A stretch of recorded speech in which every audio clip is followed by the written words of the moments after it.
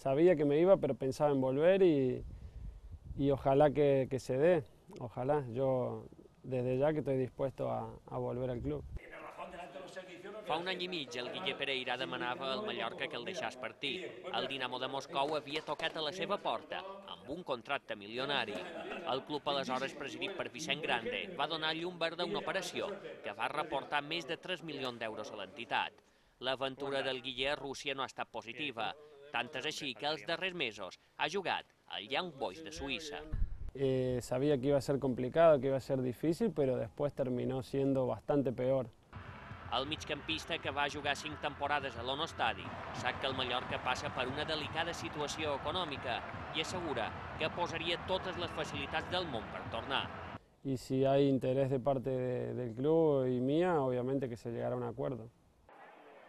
Pereira té ofertes en ferm de River Plate i San Lorenzo. De moment, però, vol esperar i apurar totes les opcions per tornar a vestir de vermell i negre.